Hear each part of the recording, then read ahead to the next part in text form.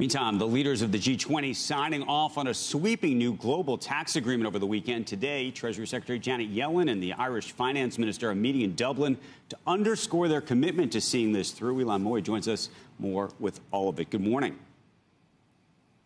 Well, good morning, Andrew. This trip is really symbolically important because Ireland was one of the last holdouts to this deal. And of course, its low tax rate of 12.5% made it famous and helped lure roughly 1,000 of the world's biggest companies, including Apple, Pfizer, IBM, all to Ireland.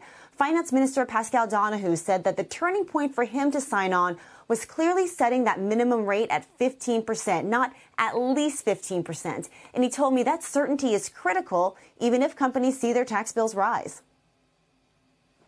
They will know how much more they will be paying, and they can be confident that disagreements on these issues will not spill over into bilateral tax disputes or even trade difficulties or tension in the future.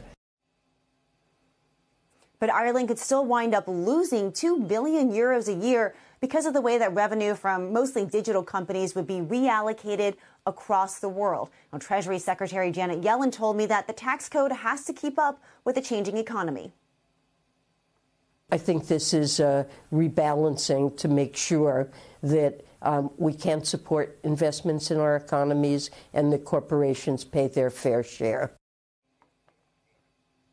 Now, countries that don't follow through and raise their rates could wind up sacrificing tax revenue to other jurisdictions. So, Becky, there are consequences if somebody breaks their promise. Back over to you. Binding, binding uh, consequences?